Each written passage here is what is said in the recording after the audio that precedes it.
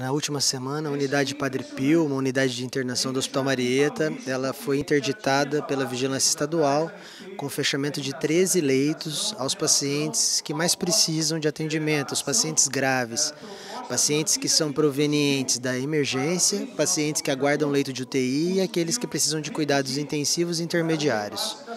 Então, com o fechamento dessa unidade, todas essas pessoas estão desprotegidas e muitas pessoas podem sofrer e nós estamos lutando pela vida dessas pessoas. Todas as, as medidas em relação ao atendimento estão sendo mantidas a todo custo, é, lutando com todas as ferramentas que temos, com todo o nosso poder de atuação de médicos, mas nós sabemos que isso é uma determinação da vigilância estadual. Se também não for cumprida, o hospital vai ser penalizado. Então nós estamos vivendo um verdadeiro dilema. A intenção nossa é vir aqui mostrar a foto atual do que representa essa unidade de internação uma unidade crítica, que pacientes com patologias agudas, com riscos iminentes de morte, que precisam ser atendidos imediatamente.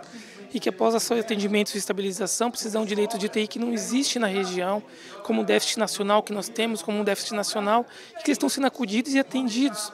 Então nós queremos mencionar e mostrar qual que é a realidade atual e que através desse ato eles possam nos ajudar frente ao governo do estado para que proporcione estrutura, condições para que esses pacientes sejam atendidos de forma adequada.